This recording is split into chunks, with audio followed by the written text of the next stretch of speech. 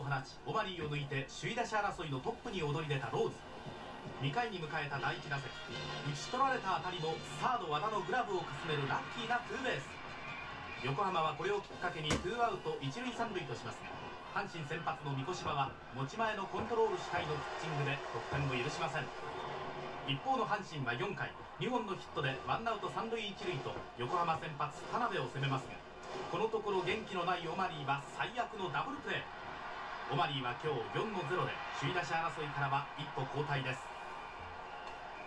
試合は三越柴田辺両先発の好投で終盤までゼロ更新阪神は8回この回先頭の久慈がヒットで出塁しピッチャー田辺のボークと三越柴の送りバントなどでツーアウト一塁三塁とチャンスを広げ3番新庄がサード強襲のタイムリーを放ちようやく均衡を破ります。9回三越柴をリリーフした田村はランナーを出したもののローズをライトフライに打ち取るなど横浜の反撃を抑えて三越柴に2ヶ月ぶりの4勝目をプレゼントしました。タイガースが三越柴の好投で3連敗を免れました。三越柴はベイスターズを0点に抑え4勝目。田村は21セーブ目を。ですが8回から田村を出して必勝パターンです。9回表先頭清水にツーベースを許しツーアウトを取りましたが清水が三塁に進んで立浪ショートの右を抜いてこれで4対3しかもこの立浪は同点のランナーです。4番パウエルヒット。代打輸出るフォアボールでツーアウト満塁。そして前の打席田村から外角球を見逃して三振の逮捕。ここは初めから外狙いでレフト前。逆転の2点タイムリー。ドラゴンズ5対4田村は15試合連続セーブポイントでストップ。猪俣の12勝目もここで消えました。さあドラゴンズは9回裏から3人目鹿島を出して防戦。タイガース和田倒れワンアウトから金子。セカンド左は立浪よく追いついたが金子執念で A クラスにかかる一塁キャンバスしがみつき。さらに増永ラッキーなヒットでワンアウト一塁二塁。オマリーを迎えてなんとドラゴンズは山本昌弘投入です。さあオマリーの4打席目。これも執念のライト前。金子が帰って5対5マリーは今日は4の2で3割2分3厘と打率を2厘アップです。さらに一塁三塁でさあ今度は新庄。バックホームに備えて前進守備のレフトの頭上。増田が帰って6対5タイガース逆転サヨナラ勝ち。同点打のオマリーも言ってました。ネバーギブアップ順位争いでも逆転で A プラス3位滑り込みを狙います。この時期、えー、プロ野球の話題なんといっても首位打者と A クラスです、えー、首位打者オマリーさんですね。昨日見事4打数3安打。3割2分7厘でですねローズを抜いて首位打者に返り咲きました。このオマリーさんの大活躍で昨日のヤクルト戦はですね13対3と大差で勝つことができました。もうこれで A クラスも夢ではございません。ところで危ないの今日2打数ノーヒットで3割2分5厘5も。試合のなかった横浜ローズに首位打者の座を明け渡しましたまた打点トップの広沢ですが最終戦の今日は打点がなく94で終わり2位ローズとの差を広げることはできませんでした。なお試合はヤクルトが序盤に4点を奪い4回からマウンドに上がった川崎が2年ぶりの2桁勝利をマーク。そしてゲームが決まった8回阪神岡田が代打でツーベースを放つとライトスタンドのヤクルトファンからも岡田コールが起こります。結局最終戦を白星で飾り大台の80勝に乗せたヤクルトは試合後詰めかけたファンに日本一を誓っていました。ゲーム後ヤクルト野村監督は来年が怖い2年分勝っちゃったと言いながら終始笑顔で球場を後にしました。に注がれていました。そしてもう一人背番号1はトーマス・オーマリ首位打者を狙っています。1回の表広島に1点先行をされた後その裏すぐです。ライト前タイムリーヒット。そして4回にはなんと意表をつくセーフティーバント。内野安打。今日のオマリーは2打数2安打。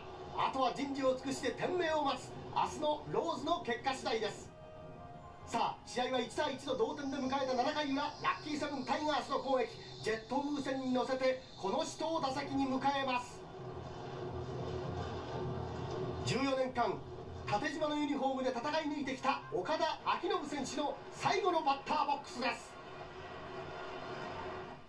昭和54年早稲田大学からドラフト1位でタイガースに入団し新人王も取りました。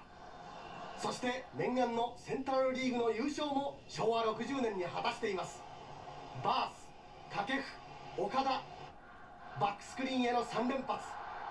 忘れられない映像です。たくさんの夢を思い出を残してくれました。セントラルリーグ優勝の年西武ライオンズとの日本シリーズ日本一も経験しました。数々の思い出をこの縦縞のユニフォームに込め最後の打席打ち上げてしまいました。ファーストへのファールフライちょっと顔をしかめた岡田彰信14年間たくさんの夢をありがとうミスタータイガース。さらなる活躍を祈ります。結局試合は八木のタイムリーで3対1タイガースが優秀の美を飾りました。岡田選手の14年間を振り返ってもらいます。打席の時は泣かないでおこうと思ったんですけどやっぱり試合が9回裏からやっぱり自然と涙が出てきてこれで終わるのかなと。まあ一度でも優勝を味わえて日本一もなったことを本当お誇りに思えると思います。まあ一生忘れないと思います。14年もタイガースよくやったと思います。まだこれからまだ分からないですけどまあある程度タイガースには少しの力になれたと思います。はい、涙で語る岡田選手ですが宮澤さん岡田選手縦縞のユニフォームってイメージやっぱ強いですからね、うん、あの中村監督がね、え。ー、岡田を呼んでね、はい。えー、阪神で終わったらと、はい、言ったそうなんですけどね、えー、ただあの岡田君にとってはねやっぱりローソンの委員長としてねフリーエージェントをこう貸し取りましたよね、はい。はい、そういう意味でねやっぱり第一号のフリーエージェント選手としてねやっぱり他でね本人はやりたいんですよ。そうでしょうね、えー、やっぱりその自分でやりたいことを最後までやり遂げるっていう力が残ってるんですからね、あのそういう生き方っていうのはありますからね、はい、私はあのそういうのを通してね、はい、言ってほしいと思いますよ。そうですね、来年はどこのユニフォームをね着てくださるんでしょうか、さあそれではセンターリーグの順位表です。ご覧いただきましょう。今日で中日巨人阪神が全日程を終了しました。巨人は14年ぶり勝率5割を割っていますそしてタイトル争いもご覧いただきましょう。まずは投手部門です。山本昌弘投手今日3番手に登板して勝ち投手になりました。今中投手と並んで17勝トップとなっています。なお野村投手横浜は残り試合でダブルヘッダーがありますのでタイに並ぶ可能性も高くなっています。防御率が2.05最優秀防御率のタイトル山本昌弘投手の手に、えー、来そうです。勝率もトップです。それではその山本投手のインタビューです。です。山森選手は今日セーフティーバントなども試みまして3割2分9厘で今シーズンを終えています。明日ローズ選手ダブルヘッダー2試合ありますので抜く可能性もあるか。トルに執念を見せるオマリ第1打席からライト前に気迫のこもった同点のタイムリーヒットを放ちます。この時点で横浜のローズを抜き打率トップに返り咲きました。さらに第2打席ではこのシーズン最終戦ゲーム前から考えていたというセーフティーバント。意表をついた攻撃に広島内野陣も対応できずセーフ。この後オマリーはベンチに下がりますが2打数2安打で3割2分9厘としローズに2厘差をつけました。試合は1対1の同点で迎えた8回阪神はツーアウト2塁1塁のチャンスにバッターは八木。レフトオーバーのツーベースヒットを放ち勝ち越し。3対1で広島を下しシーズン最終戦を白星で飾りました。全日程を終えた阪神中村監督。長くて苦しいシーズンだった。予想した以上に投手力が落ち打線がカバーできなかったのが誤算だったと2年ぶりの B クラス落ちの原因を語りました。ノブ選手がタイガース最後の打席としまして7回代打で登場しています。